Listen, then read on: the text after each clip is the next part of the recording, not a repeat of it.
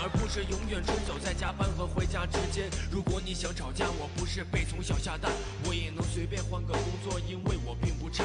服从我的安排，你能得到更好的发展，能买车买房过得宽裕，所以让你加班。工作越多就能让老板心情越好，难道你不想自己兜里多着几张钞票？OK，就算你说了这些我都能理解，但工作并不能成为我生命中的一切，包括工作之外的事也要我们去做。